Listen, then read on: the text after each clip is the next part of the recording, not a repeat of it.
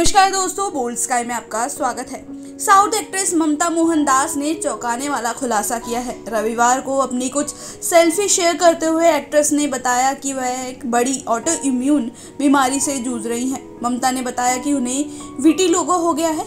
अपने पोस्ट में ममता ने बताया कि वो अपना रंग खो रही हैं।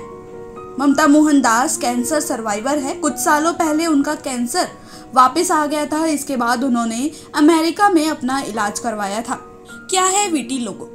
विटी लोगो जिसे हम सफ़ेद दाग की समस्या भी कहते हैं, यह एक प्रकार का चर्म रोग है। इस बीमारी में शरीर के कई हिस्सों में सफ़ेद दाग बन जाते हैं। यह शरीर के किसी भी भाग में हो सकते हैं। देखने में ये बिल्कुल ऐसे लगते हैं जैसे किसी ने व्यक्ति के शरीर के ऊपरी भाग में चमड़ी को निकाल दिया हो, लेकिन वास्तव में ऐसा होता नहीं है। इस रोग को लेकर लोगों के मन में कई तरह की भ्रांतियाँ हैं। कि ये रोग एक व्यक्ति से दूसरे में फैलता है, लेकिन ऐसा नहीं होता। किन कारणों की वजह से हो सकती है ये बीमारी? इस बीमारी के होने के पीछे डॉक्टर्स बताते हैं कि जब हमारे शरीर का इम्यून सिस्टम यानी प्रतिरक्षा प्रणाली हमारे ही शरीर को नुकसान पहुँचाने लगता है, तब ऐसा होता है।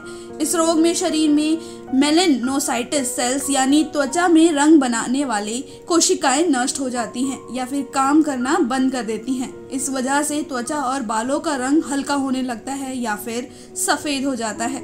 इसके अलावा अगर किसी व्यक्ति के माता पिता में किसी को ये बीमारी है तो दो से चार फ़ीसदी लोगों को ये बीमारी हो सकती है।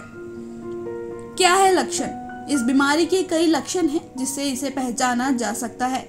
इसका सबसे पहला और शुरुआती कारण है कि व्यक्ति की त्वचा का रंग फीका पड़ने लगता है और उसी जगह पर बाल भी सफ़ेद होने लगते हैं। वहीं अगर शरीर में कोई भाग सफ़ेद हो जाए और इसके बाद आपको चोट लग जाए और वो भाग भी सफ़ेद हो जाए तो ये लक्षण है जिससे आप ये समझ सकते हैं कि बीमारी आपके शरीर में तेज़ी से फैल रही है। इसके अलावा सूर्य के प्रकाश के प्रति संवेदनशीलता नाभि कमर जांग के पास छोटे सफ़ेद धब्बे होना आदि इसके लक्षण हैं। तो दोस्तों, इस वीडियो में फ़िलहाल इतना ही। वीडियो आपको कैसा लगा, हमें कमेंट सेक्शन में ज़रूर बताइएगा। वीडियो को लाइक, शेयर और चैनल को सब्सक्राइब करना मत भूलिएगा।